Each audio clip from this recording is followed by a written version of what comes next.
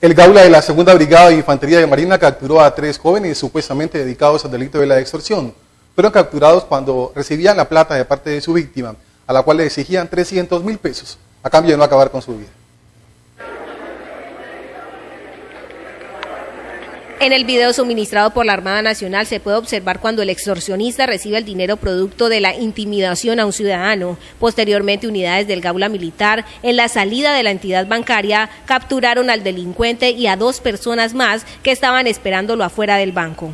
La extorsión se venía presentando desde hace varias semanas. La víctima recibía llamadas intimidantes donde le exigían el pago de 300 mil pesos para no atentar contra su vida y la de su familia. De acuerdo con las investigaciones, los tres capturados pertenecerían a la banda delincuencial Los Urabeños y su accionar delictivo se concentraba en el sector comercial Puerta Roja, en el barrio San Luis. En lo que va corrido del año, la Armada Nacional ha capturado 15 personas por el delito de extorsión.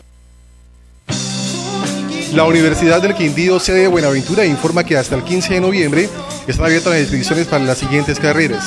Administración Financiera, Salud Ocupacional, Tecnología en Obra Civil, Licenciatura en Pedagogía Infantil, licenciatura en Ciencias Sociales con énfasis en básica primaria, licenciatura en Pedagogía Social para Rehabilitación.